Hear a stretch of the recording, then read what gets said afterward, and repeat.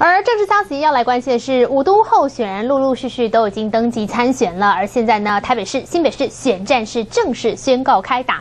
我们掌握到最新的旺旺中实民调，这里面显示呢，在台北市的选情支持度跟看好度，现在郝龙斌都是落后苏贞昌；而在新北市方面，则是由朱立伦领先。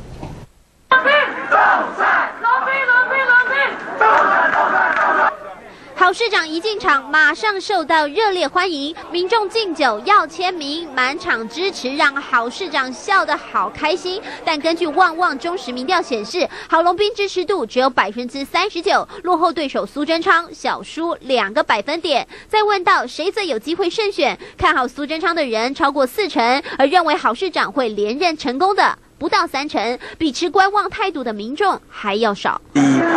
真正投票还有两个多月，还还要很努力，我非常的戒慎恐惧，战战兢兢。其实民调是一种落后指标，也就是说，呃，选民在接受调查的时候是根据他前一阵子的印象，我们的呃支持度，选民的支持度都在逐渐回流当中。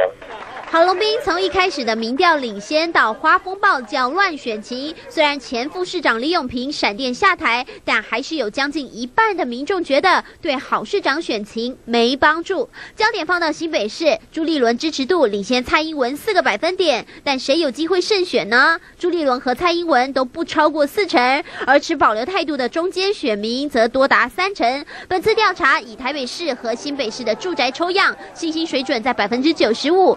抽样误差为正负百分之三点一。中天新闻李东义、苏西亚台北采访报道。